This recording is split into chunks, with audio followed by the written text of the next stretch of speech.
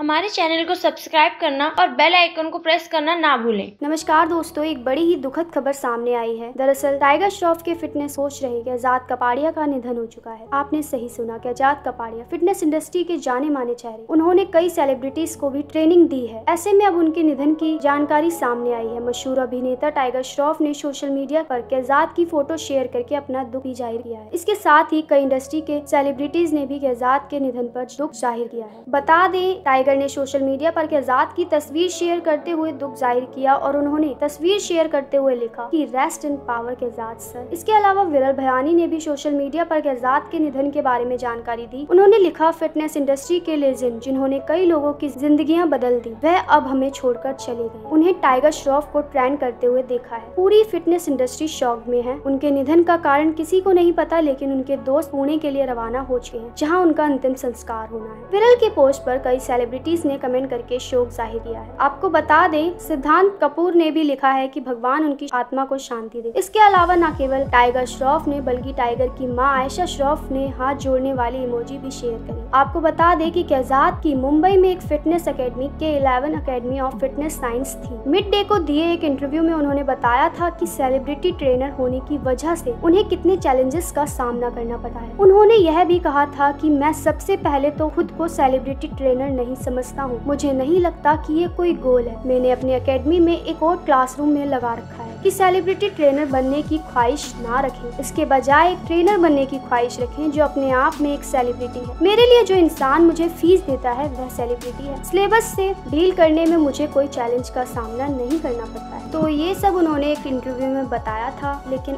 अब जजाद कपाड़े हम सबके बीच नहीं रहे हैं और जितने भी सेलिब्रिटीज हैं और उनके फैंस हैं वो सब उनको श्रद्धांजलि दे रहे गए हैं ताकि भगवान उनकी आत्मा को शांति दे के अलावा अभी तक उनके बारे में अधिक जानकारी सोशल मीडिया पर अवेलेबल नहीं है बाकी जैसे ही हमें उनकी पर्सनल लाइफ से जुड़ी जानकारी मिलती है तो उससे हम आपको अप टू डेट करेंगे वेल आगे की जानकारी के लिए जुड़े रहिए आपके अपने चैनल देखने के साथ धन्यवाद